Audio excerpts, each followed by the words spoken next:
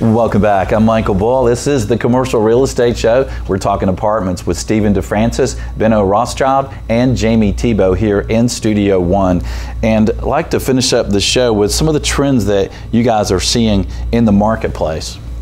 Well, one of the things we uh, were are seeing a little bit is um, is larger unit size. Uh, people are looking for more space, uh, and that's really for a variety of reasons. I think some people are looking um, to be able to raise kids in their apartments now. Um, there's just a different demographic change, and especially um, older people who are coming out of houses that you know they're coming out of a five six thousand square foot house uh, to go down to an 800 foot apartment does not seem like the kind of thing they want to do. So they might want to add that extra bedroom um, for their stuff off, yeah. and also maybe to have their grandkids come visit.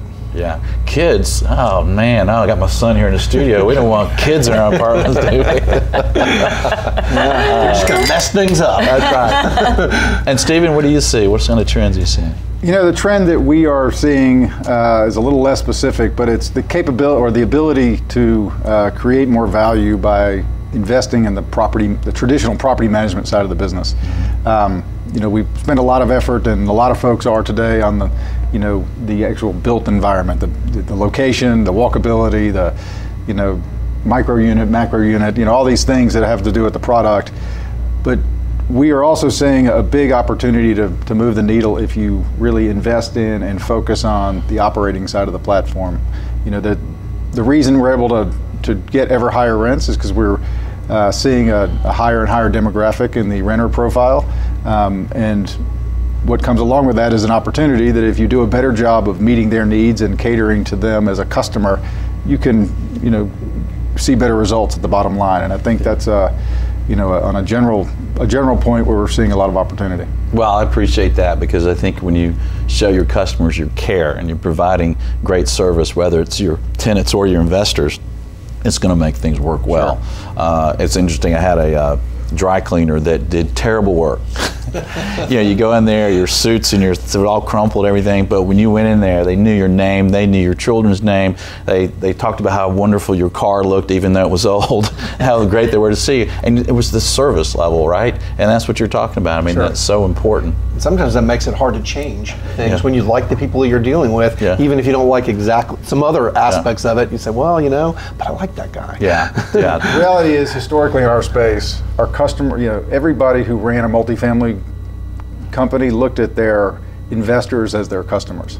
Yeah. And property management, who really dealt with their customers, was sort of this group that was down the hall that, you yeah. know, was to some degree a necessary evil part of the business. Yeah, they're not. Did, they were not getting the respect that they deserved as the group that was on the front line yeah. dealing with the customers day in and day out. Yeah, good point. They're not units; they're residences, right? That's right. They're Uh, Jamie, what do you see? We see um, we're living in an Apple world today, right? Everybody's walking around with iPads, iPhones, and they're on 24/7. And so I really think uh, in in today's real estate world, you have to make sure you're available 24/7 for your uh, residents, and whether that means online portals, electronic leases um, that's what they're looking for. They want to be able to communicate, and they want to be able to communicate via technology, not necessarily face to face.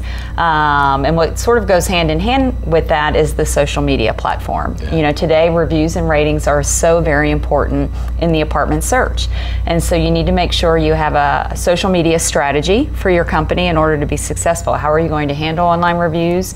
How are you going to respond to online reviews? Um, and it's really an important part uh, of the business today versus yeah. just a few years ago. We appreciate you guys being on the show today. Great information. Thanks for being with us. Thanks. thank you. Thanks for having me. And thank you for joining us on the radio stations around the country or YouTube or iTunes or wherever you're catching the show, maybe commercialrealestateshow.com. We appreciate you being with us. Well, you want to be with us next week. We're going to have ULI and PwC's emerging trends in real estate. They're going to visit us from New York, come down here and share the highlights of that report. Until next week, be sure that you always lead, learn, and laugh, and join us for the Commercial Real Estate Show.